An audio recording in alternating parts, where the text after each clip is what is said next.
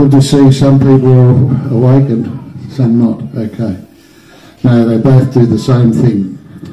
If you do lose something, do not hop off the train or try and hop off the train to retrieve the item yourself because as I'm backing up, I may run over you and I can assure you we don't carry any spare body parts on the train. Opposite us, you'll see what is now operating as the sweet shop. But when it was in official operating, it was the smallest operating post office in South Australia and catered for the eight and a half, sorry, five and a half to eight thousand people who lived on the mine site. In front of you, you'll see what is now operating as our museum. But when it was built in 1878, it was built as a school to cater for 800 students but in its heyday it had 1,100 students enrolled. As we go around the track, you'll see quite a few ruins. And the reason for so many ruins is that when the mine closed in 1923, the, the shareholders wanted as much money out of the mine as they could possibly get. And that resulted in all the machinery being, being sold as scrap metal. And as the machinery was made in the 1800s, it was extremely large and cumbersome. Therefore, they found it much easier to knock down the buildings rather than get the machinery out of the buildings. If you look to your right on the corrugated iron wall, you'll see a sign up there which says Wheal Munter. Up there, there are two languages. The first word wheal is Cornish for workplace, in this instance, a mine, and the second word, Munter, comes from the local Aboriginal people, the Narungga people, who called this area Munta Montera, meaning thick, impenetrable scrub, which is what covered the entire Yorke Peninsula prior to white settlement. Finally, up here we have a visitor's book which we encourage people to sign, make an entry if they've enjoyed the trip, found it informative, educational, etc. All you have to do is put your name, suburb or state down and your remarks. I ask one extra thing of all lady passengers on board, that if you are taking a time to make an entry in the book, just add how handsome and intelligent the driver is, please. okay, I hope you all enjoy the trip and uh, uh, we'll be making some stops. I left a bit out. Along the way, we'll be making short stops just to change the points so we don't end up going round and round in circles. We'll be making two longer stops. The first stop, everybody remains on the train and listens to uh, rec the recording of the sociology of the area from 1860 when the mine opened and when it closed in 1923 and also how the mine set up. At the second stop at what we call the wash and dry, we actually drive through the wash and dry building and stop at a purposely built platform where everybody hops off the train and walks back into the uh, wash and dry building where I'll relate to you the process that was used to recover copper out of the tailing heaps, plus a couple of lo local stories. Okay, I hope you enjoy the trip.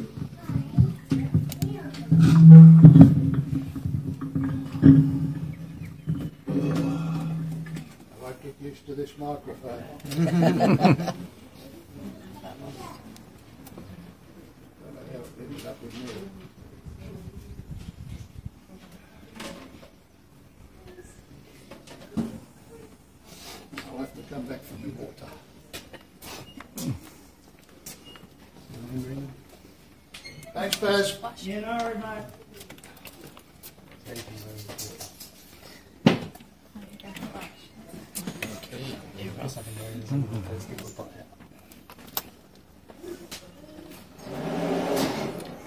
Hello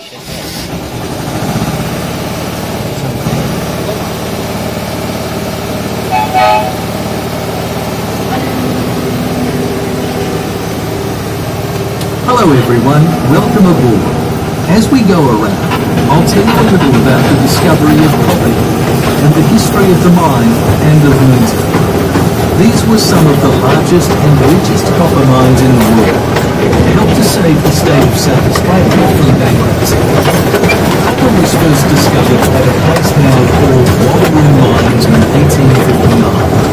The smelter of ore to process the ore and export. Ore was later taken from the Moonta mines to Wallaroo by bullock train, which was a very slow process, taking two days each way. The whole area of Wallaroo, Kadina and Moonta was leased by Walter Watson Hughes, a retired Scottish sea captain. He came out to Australia in 1840 and ran sheep in this area. Captain Hughes had asked all his shepherds to watch out for any signs of copper, which was indicated by greenish-coloured rocks or green flames in their campfires, and offered a reward of six pounds a week as an incentive.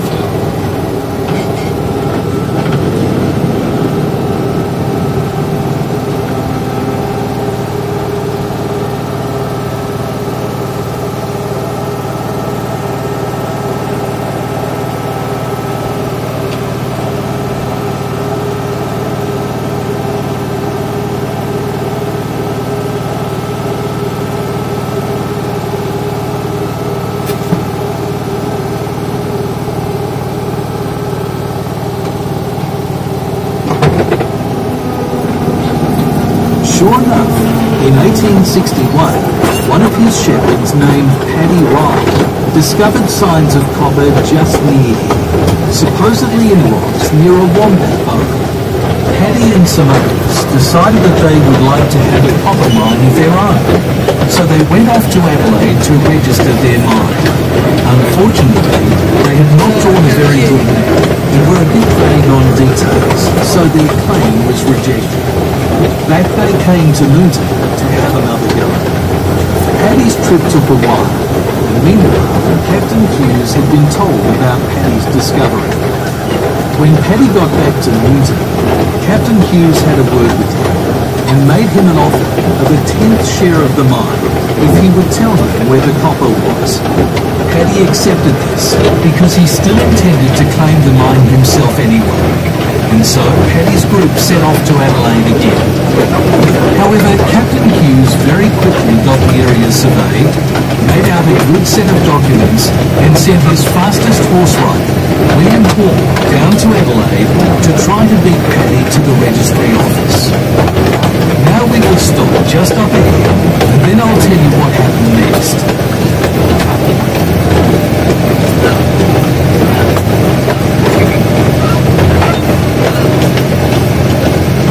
So, we left William Hall racing off to Adelaide to beat Paddy.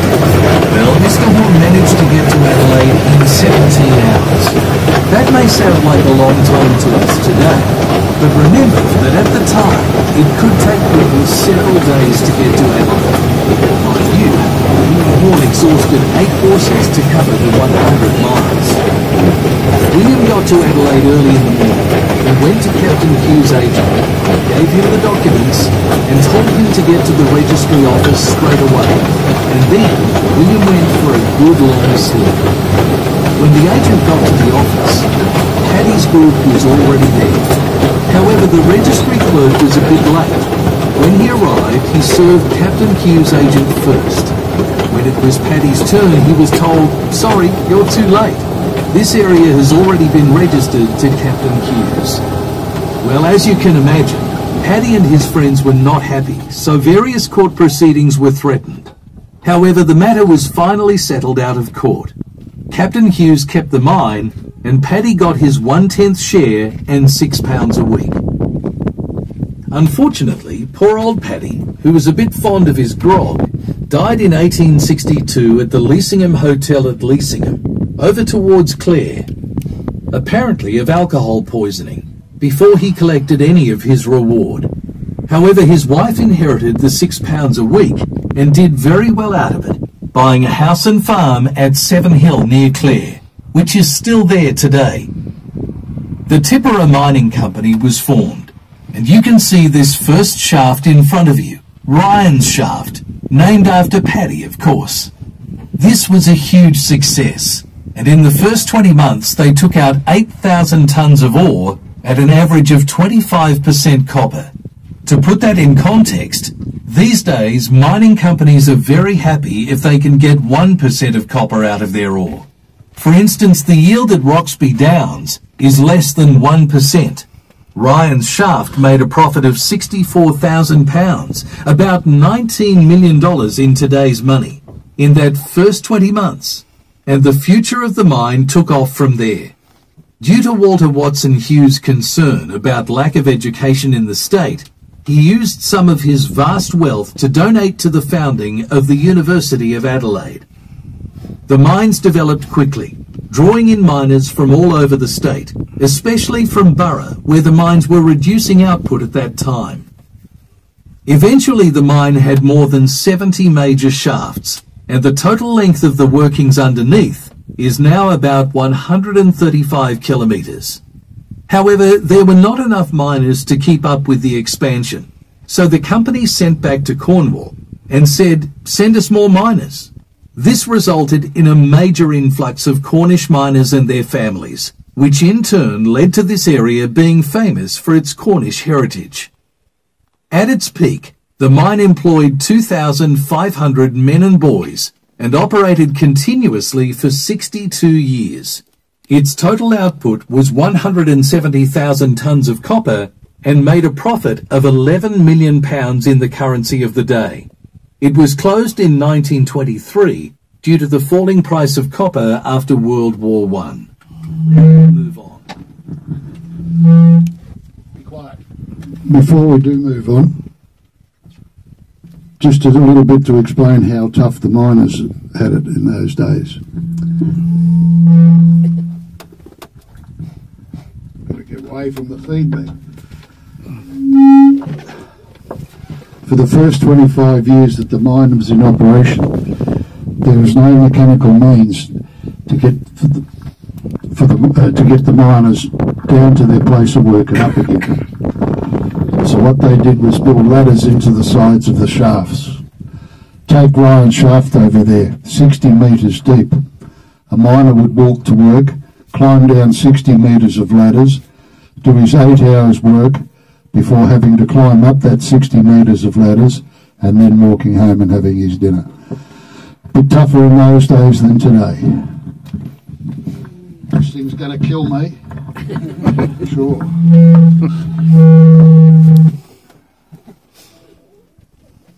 That's the microphone making that noise, not me. Be worried. be a worried if that was.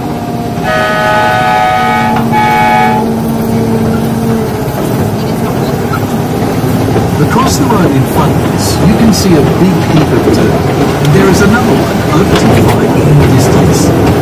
These are called tails or skin heaps and contain the waste from the early stages of the concentrating process. In all of these dumps and the slime pits, there was an estimated 25,000 tonnes of coal.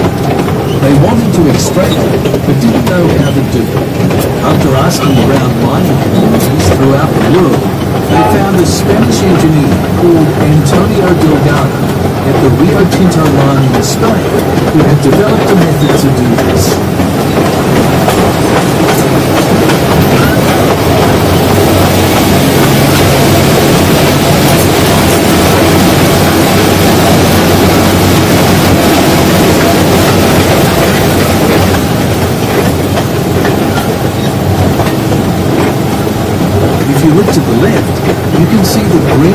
Stain on the rocks and on the ground.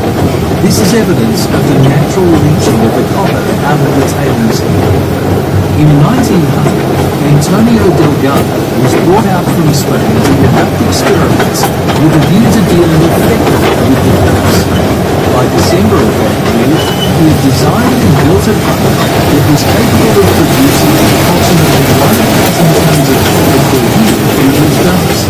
And that plant is where we will stop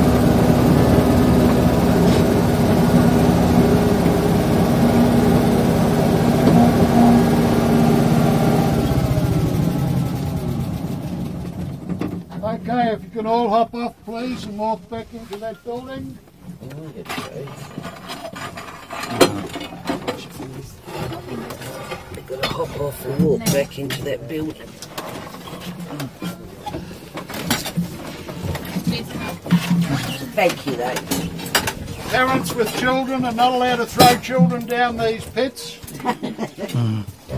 Husbands who, who are game enough, well,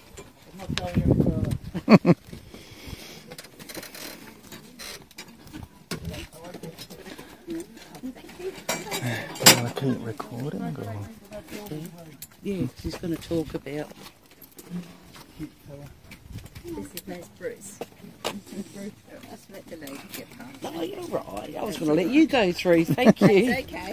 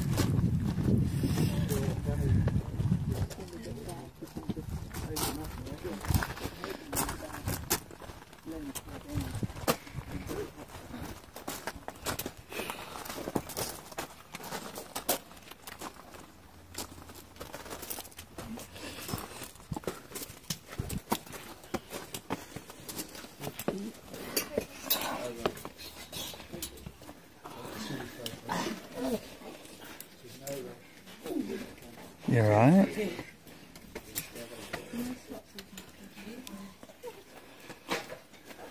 What I'm going to relate to you is the process that was used to recover the copper out of the taily heaps. The step-by-step chemical process is encapsulated in those glass bottles at the end. I'd also like you to consider the engineering feat was achieved in setting up this process, remembering it was 125 years ago and they didn't have any of the machinery that we've got available to us today. This building was built in 1899 and it was built out of the rocks we covered when they dug the shafts of the mine. And what Delgado did was build a pump station just south of the Moonta Bay jetty. And from Ricketts Point, it pumped salt water up to a holding reservoir in Victoria Park, which is just opposite the Anglican Church in Blanche Terrace. From there, the water gravity fed down to another reservoir that we're going to pass in a couple of minutes. At that reservoir, they built another pump station, and at that pump station, they added sulfuric acid to the mix. They then pumped it up to the top of the tailing heaps where they had a series of canals, channels, and levee banks to control the flow of the liquor, as it was then called, down through the heaps. The sulfuric acid reacted with the copper sulfides and turned it into copper sulfate. And when the copper sulfate entered the precipitation tanks that we just passed, they added scrap iron. And that caused a chemical reaction which caused the copper to fall out of solution and settle at the bottom of those tanks as sludge. Once they had a sufficient amount of sludge at the bottom of those tanks, they emptied out the water, which went down below, uh, down the back here, down to the settling tanks, where all the sediment settled out, and uh, the water then gravity fed back to the pump station, where it was re- reacidified and then recycled. The sludge was then shovelled up into buckets, and the buckets I'll point out to you on the return trip, and brought up here. The buckets emptied the sludge onto the platform. The sludge was then washed down with salt water to get rid of any impurities. They then used the furnace, which was placed where the hole in the wall is, and the hot plate in front of it to dry out the sludge. Once it was dried, it was then bagged up and taken to Wallaroo to be further processed at the smelter. In 1903 and every year thereafter, right up until the mine closed in 1923, they recovered around the 1,000 tonnes a year mark at 90 to 95% pure copper and made a profit in this section of the mine alone of between 3 and 4 million pounds which is between 22 and 28 million dollars in today's money. Between 1929 and 1943, the Moonta Copper Recovery Company was formed to try and emulate the same process. However, they ran into problems uh, with uh, mainly due to the uh, availability of raw materials and also the fluctuating price of raw materials but mainly hindered by the fact that the smelter at Wallaroo had closed and they had to send their end product to either Tasmania or Newcastle to be further processed. In the 1980s, they did an aerial geophysical survey of the area and they found copper close to the surface on the Moonta to Wallaroo Road out here. In the 1990s, they opened two open cut mines the Wheal Hughes mine and the Poona mines. Out of those mines, they got 40,000 tonnes of copper. Those mines went down to a depth of 250 metres. But as the water table was only 50 metres below the surface, the cost of continually pumping out the water just became too prohibitive and they closed. Just to show you how profitable this mine was, In 1876, which if you remember is only 14 years after the mine opened, the company was the first company in Australia to pay its shareholders £1 million in dividends. As I said, it shows you how rich the, the mine was and what it did to help the South Australian economy at the time. Remember, South Australia had only been a state for some 30 years. As we went around on the trip, we heard that they recovered 170,000 tonnes of copper out of this mine. They also recovered one and a half tonnes of gold, which at today's prices would value it at around $300 million. That brings us to a legal aspect. As this is a, a sorry, a heritage listed area under the auspices of the National Trust, any gold that you find today has to be handed to the driver. They'll take care of all legal responsibilities for you and ensure it's spent in the most pleasurable and leisurable manner possible. In other words, that's bullshit. what they did with the gold was used it to supplement, uh, sorry, help supplement the cash flow of the mine, which in turn helped pay some of the miners' wages. The miners' wages over the period of the mine averaged out to be about one pound eighteen shillings a week, somewhere between three hundred and twenty and three hundred and sixty dollars a week in today's money. You may consider that to be a pittance to be working for, especially for the uh, type of work they had to do. But when you take into consideration the cost of living in those days being way down there, today it's been way, way up here and getting even higher, at the time it was actually considered to be an above average wage. None of the miners became millionaires on it. However, the only ones that suffered were those that had the cork out of the bottle for too long each day. Now, as most of you are not from Moonta, Moonta's noted for quite a few firsts. Three premiers were born in Moonta, two South Australian and one Western Australian. One of our famous uh, people born here was Sir Richard. I've forgotten his name. I said it. Yes, Sir Richard, who was the founder of the, the uh, Royal Australian Air Force. What was his bloody name, anyway? Uh, that's what Alzheimer's does to you. Uh, anyway, he founded the Royal Australian Air Force.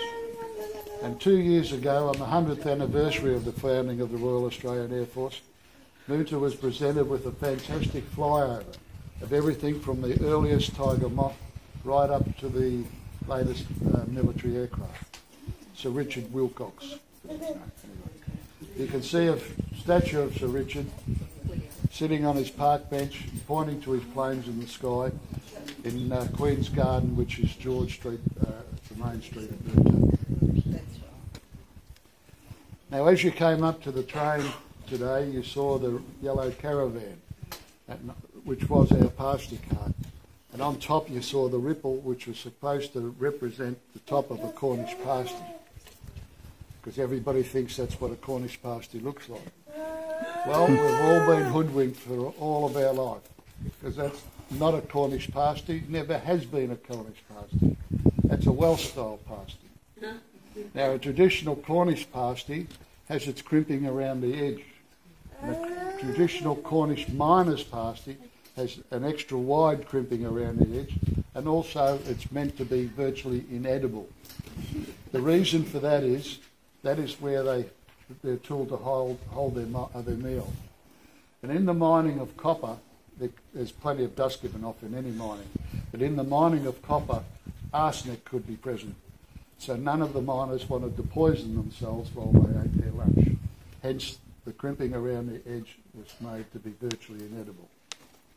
But more importantly, the crimping was broken into three different sections. At one end, it told the miner which end of the pasty was his lunch, in other words, his meat and veg. At the other end, it told him where his sweets were apple pie, apricot pie, or whatever the sweet was for the day. But more importantly was the crimping in the middle, and that was the individual, individual signature, if you like, of the housewife who made the pasty. So that every miner, when he was down in the mine, even with limited uh, light, could tell which pasty was his and which wasn't. If the housewife was cooking for more than one person down the mine, like sons or brother-in-laws, she'd add a letter to the top of the pasty. W for William, C for Charlie, D for Dave, etc. Now, a lot of people think uh, the singing of Christmas carols is a uh, European uh, tradition, but in actual fact, goes back before that to the Cornish. The Cornish have been mining for over 400 years, and one of their traditions was the day before Christmas, they'd sing their carols down in the mine. And as down in the mine, of course, they have uh, candlelight. The only years they didn't do that was when uh, Christmas Eve was on a Sunday because they had to be in church instead. But anyway, in 1865, uh, the local gazette here recorded that whilst the congregation were singing their uh, carols outside of their newly completed church, which you'll see at the end of this trip, that the surrounding area was lit by the candles on the miners' helmets. And that's the first recording of carols by candlelight in Australia. Now, over here you'll see what people may can take to be a bath, where, where in actual fact it was a bath. On a day like today, the miner that would had to have that bath at the end of the day would probably look forward to it. But just think about him in the middle of winter, where the cold water would have a sliver of ice over the top. But no matter, he still had to have that bath. And he was the person that was putting the sulfuric acid into the salt water. Otherwise, he'd go home and spread uh, sulfuric acid, not only smell putrid, but uh, take the sulfuric acid home. Now, you've had a look at our locomotive. The uh, chassis of our locomotive came from the Adelaide Zoo 42 years ago. And if you have a look in the backhand corner, you'll see a locomotive. That photo was taken in 1901 of the steam loco that ran around here at the time.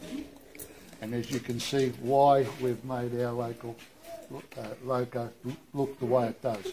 And hopefully it looks pretty well similar to that one. That's about all I've got. If you have any questions, don't be afraid to ask. If I haven't got the questions for you, I'll ask this young fellow over here to Google it for me because these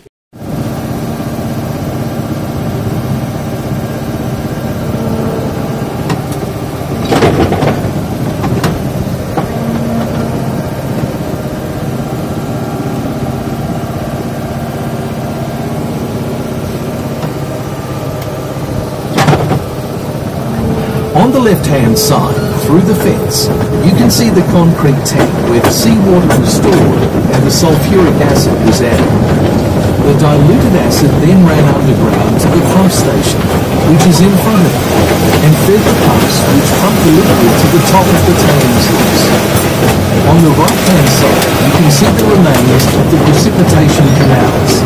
Unfortunately, the timber lining has been removed over the last seven years, and all that remains is the walkway and the scrap steel that is scattered throughout the scrub.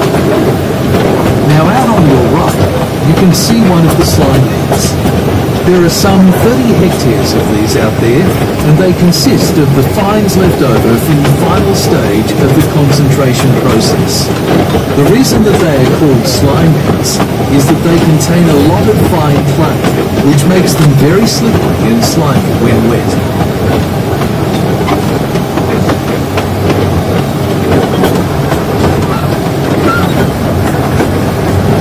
On your right-hand side of the bin, you can see what were as the settling tanks. Water from the precipitation pond ran down to here, where the mud and other materials settled out. Then the water gravitated back to the pump station we saw earlier, where it was reacidified and reused in the process.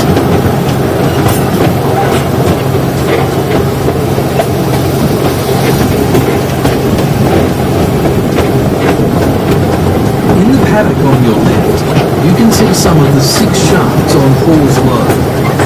Lode was the name used to describe a continuous body of underground ore. Hall's Lode stretches to behind the railway station, where it comes close to Alice's Lode, which partly runs under the Moonta Area School. In 1994, at the end of a sports day, there was heavy rain. Imagine their surprise when they found a large hole in the sports ground. Alice's Lode had collapsed. We still get occasional collapses and subsidence throughout the mine area. In 1862, a broad gauge horse-drawn railway system was built from Kadina to Wallaroo, and by 1866 this had been extended to include Moonta Mines to Wallaroo. The horse teams were changed halfway between Moonta and Wallaroo, and fresh horses completed the journey. This horse-drawn system was extended into Moonta Township in 1868 and down to the Moonta Jetty in 1879. It continued to operate from East Moonta to the jetty until 1931, when it ceased operations. The only original horse tram left, built in 1896, is on display at our Wheelmunter platform, where we will get off the train. As time progressed, the horse trams were withdrawn from all transport in favour of steam locomotives, which operated on a narrow gauge railway from Moonta to Wallaroo from 1891 onwards. The original railway station was constructed in the township in 1891, and this was superseded in 1909 by the beautiful current building you see ahead of you. The narrow gauge line was upgraded to a broad gauge line operating from Moonta to Adelaide from 1927 onwards. It was used to cart grain, general cargo and passengers. The broad gauge railway system, which is the line you can see in front of the railway station, operated until 1979, after which time the railway station was converted to the Visitor Information Centre. If you need any information about tourism or accommodation, wish to view the photographic displays, or want to buy any souvenirs, you can visit the Visitor Information Centre and the volunteers there will be only too happy to help you. The cottages that you see located adjacent to the Kadina Road were for railway employees who maintained the broad gauge railway.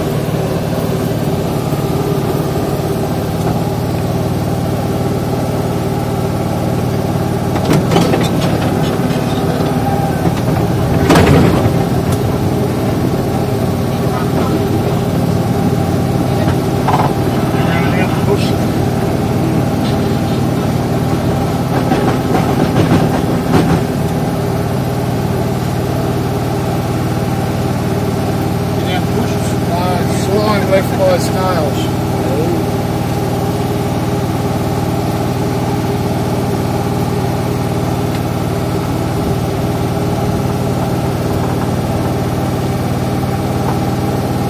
Slide left by snails, he said.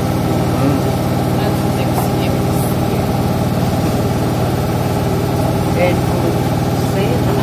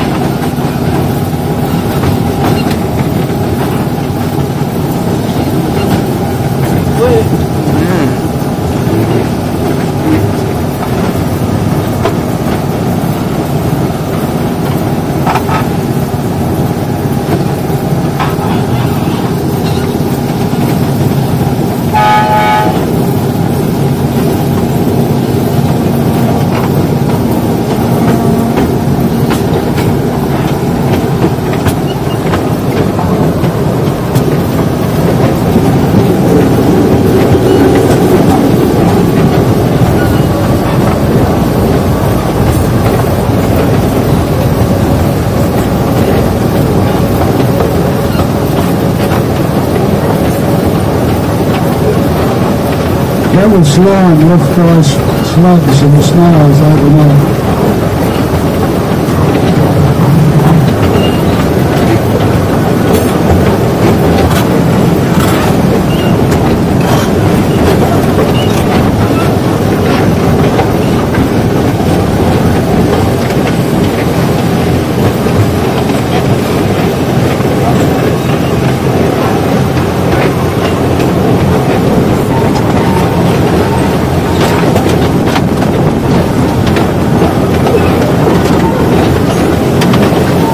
Behind us, you will have seen the township of Moonta.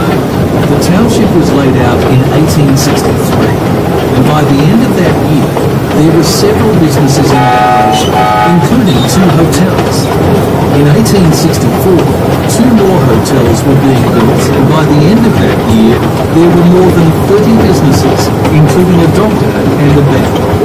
Soon after this, the town storekeepers were complaining of the cost of carting goods out to the people living on the mining leases. Problem was solved with the building of metal roads and the development of the horse tram system. By 1870, the shops in Moonta were staying open until 10 p.m. on a Saturday evening, and many people came into town to do their shopping. By 1873, the town had 80 business premises, 5 hotels and 3 banks. It was the largest South Australian town outside of Adelaide, and the population of the district had risen to more than 10,000, of whom 6,000 lived on the mining leases, not in the town. One thing we know about the Cornish is that they were very religious. By 1899, there were 16 Methodist churches in the Moonta and Moonta Mines area. With the exception of the Methodist Church and the Salvation Army, all other denominations were barred from setting up on the mining lease. Even the Salvation Army was looked on with disapproval by some. Of the many Methodist churches that were in use by 1900, there are only three left today that are still functioning as churches. We will see one of these towards the end of the trip. In the early 1870s, Captain Hancock, the most famous of the mine managers, decreed that all employees of the company must attend church at least once on Sundays. If you didn't attend and did not have a reasonable excuse, you could be sacked. The Wesleyan Sunday School catered for 1,100 students and a roster of 330 teachers. In 1866, it was reported that 300 children took part in the Sunday School anniversary celebration, which was attended by nearly 1,200 people. A Baptist chapel was opened in 1866, but the religion failed to survive. The building stood empty for many years, and in 1891 it was purchased by the state government and became the Moonta School of Mines. This was the first specialist school outside of metropolitan Adelaide and was the forerunner of the modern TAFE system of today. The building still stands in Moonta and is now the National Trust Resource Centre.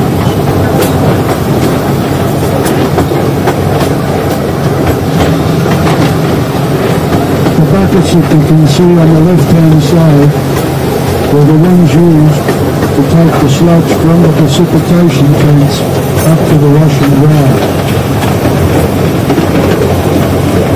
They were also used at the crushing plant to take the fines left over from the crushing up to the top of the tailing.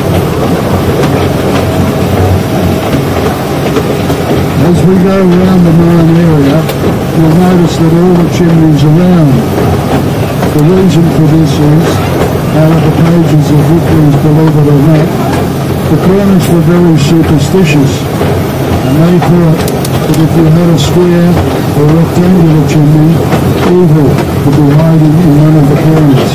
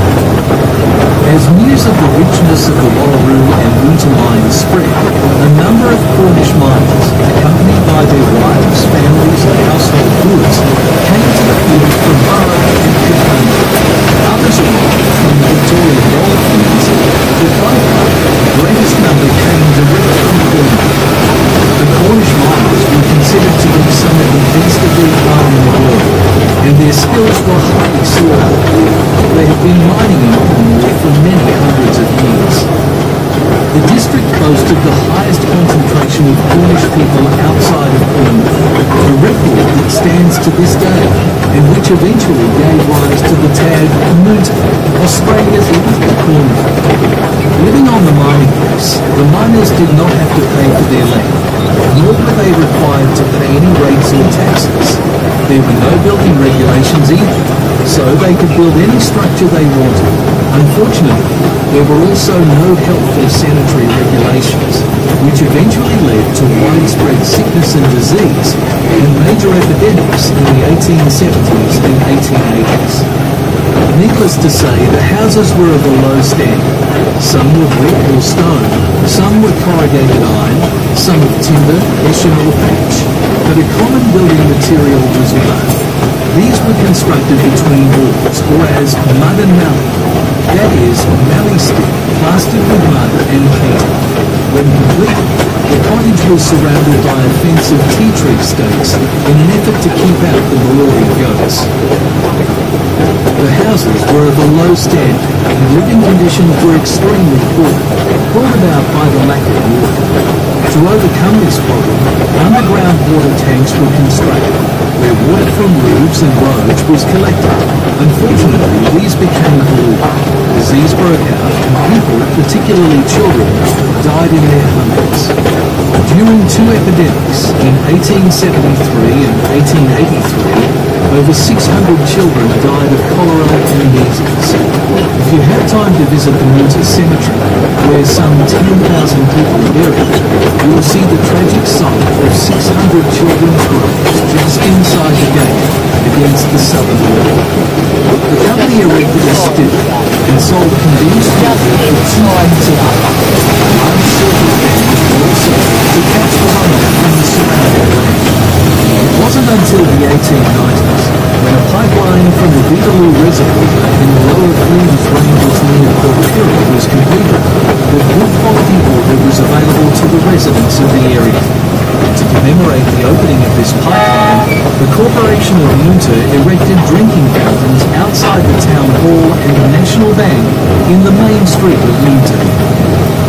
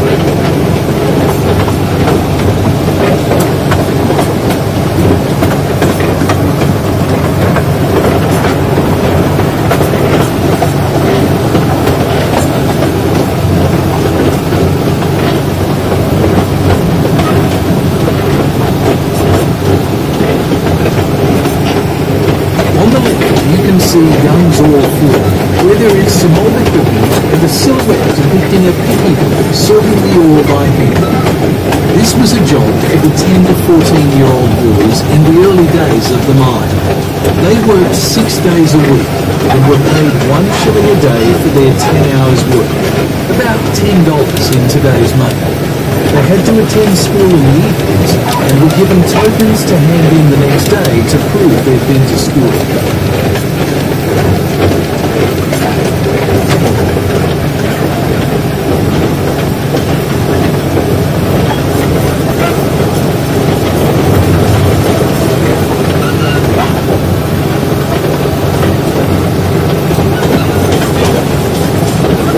on the right is Mine School, which was opened in 1878 to educate 800 students. All children aged 7 to 13 years were required to attend school. At its peak, 1,100 children were enrolled at the school, the largest in South Australia outside of Adelaide, but it closed in 1968 with less than 30 students. The school is now a museum containing many artefacts and items of interest from Moonta's past and is well worth a visit.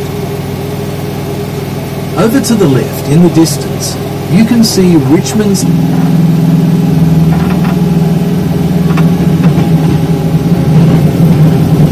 Across the road from the school, you can see the remains of the township of Moonta Mines, which is also worth a visit. There are many ruins of past buildings and a few of the original houses still stand. On the right, you'll see the old reservoir, which was built in 1869 to 1870 to help supplement the water supply to the community and to provide water to the mine's boilers. It had a capacity of around 5.5 million litres of water and had a roof over the top to prevent evaporation on hot days.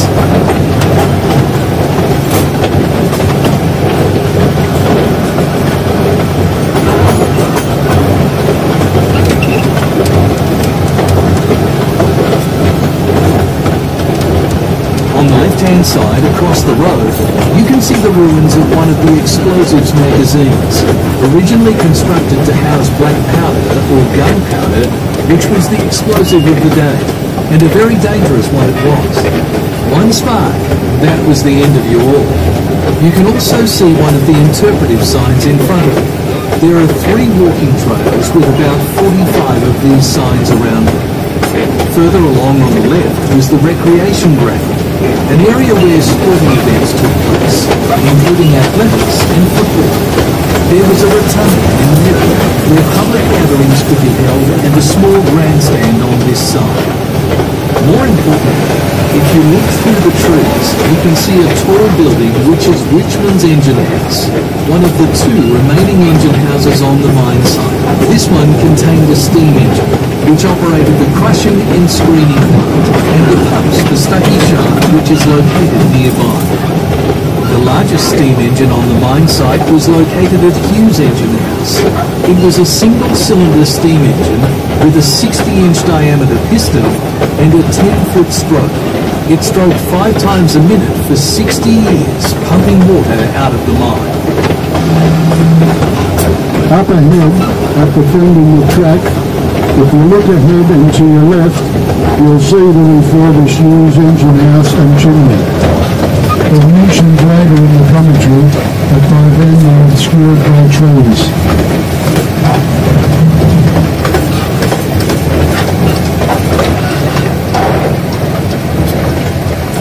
As we come up to the corner here, you can see some of the ruins of some of the important buildings associated with the mine.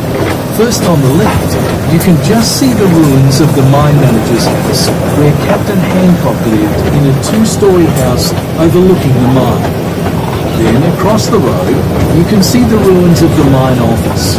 Behind the mine office were the mine stables, which accommodated 100 horses. And across from the stables, the engineering workshops, the largest engineering workshops in the southern hemisphere. But most importantly, if you look to your left and back a bit, down the bitumen road, you'll see the ruins of Hughes Engine House and Hughes Chimney in the distance. Finally, on the left and down the road, you can see the Moonta Mines Church. It was built in 1865 and later a mezzanine floor was added to increase the seating capacity to 1,250 people. This in part was due to an edict from Captain Hancock that all employees were required to attend church at least once on a Sunday. In the 1880s, a pipe organ was installed, paid for in part by a handsome donation from Captain Hancock. Services continue to be held in the church every Sunday. Well, folks, that brings us to the end of the trip on the Moonta Mo- You got to walk from here.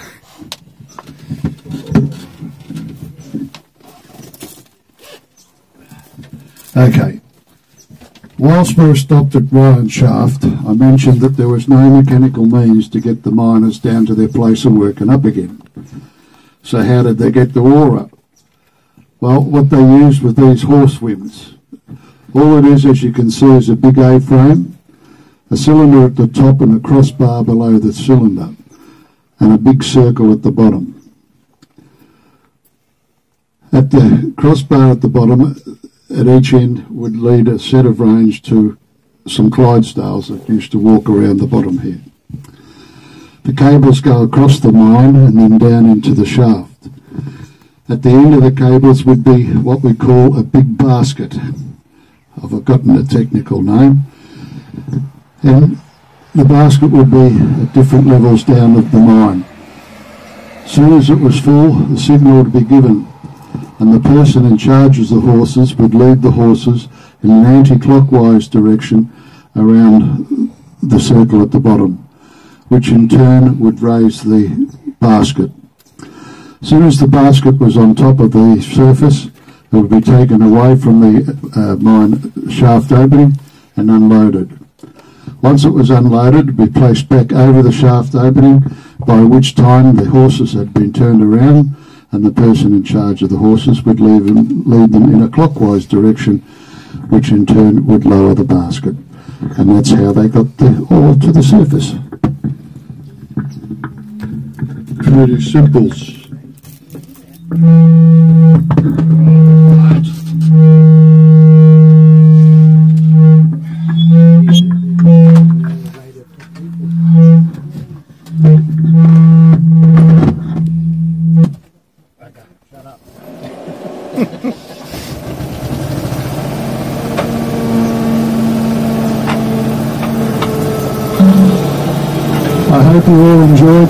trip on the Moonta Mines Railway. Don't forget the visitor's book if you so desire. But most import- importantly, be aware and stay alert when driving away from winter. Travel safely. Thank you.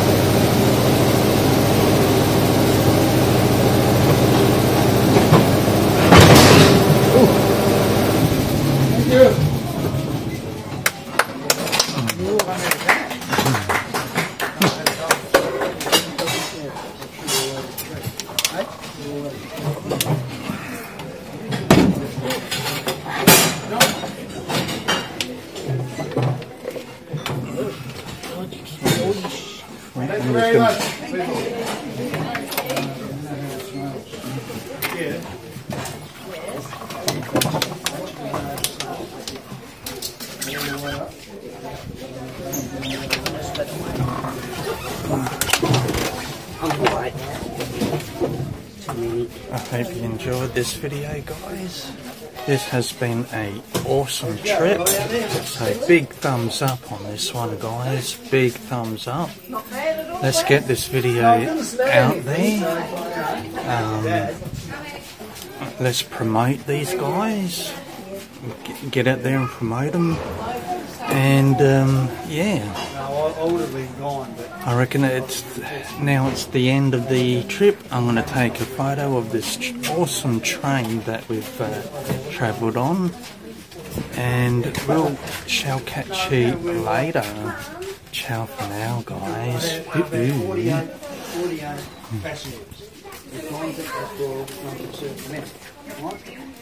It's thirty-six dollars out for what's